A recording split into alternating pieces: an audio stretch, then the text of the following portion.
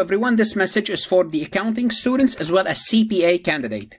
For accounting students, most likely you already took your midterm and you are halfway throughout the semester, so you still have the other half of the semester. If you are doing well, that's pretty good. That's good. Keep on going, whatever you are doing. If you are not going doing well, you want to make sure you pick up the pace because you still have a half of the semester, most likely 50% of your coursework still on the table for you to grab.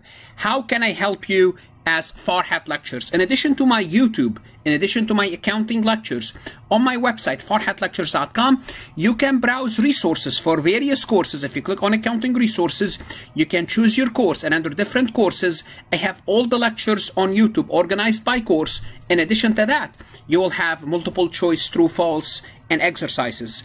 For CPA candidate, I know this is a busy season for CPA candidate toward the end of the year. Usually this time, most of the people take the exam. They want to finish by the end of the year.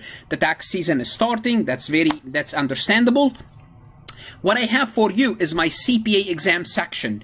On my CPA exam section, whether you are studying for FAR audit, REG, BEC, whether you are taking Becker, Roger, Wiley, Gleim, or Surgent, I have supplemental resources that can go with any of your courses. So what I'm asking you is take advantage of my material. It's going to help you. All what you are risking from a, from a from a monetary perspective, you are risking $30. So simply put, try my resources. If it doesn't work for you, that's fine. Cancel. You risk $30. Is it worth it?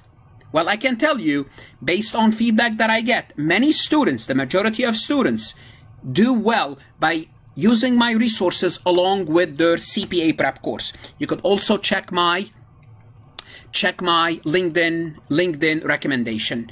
Also, if you don't want to know anything from this recording, you, you may you may want to check out your university CPA exam performance. You want to know how well your, your university overall do on the CPA exam because this is a good indication about your accounting program. So the average passing score is 50%. Let's assume your uh, your your school is scoring 60 or 55 that's pretty good. If your school is scoring 40% pass pass rate that's not good.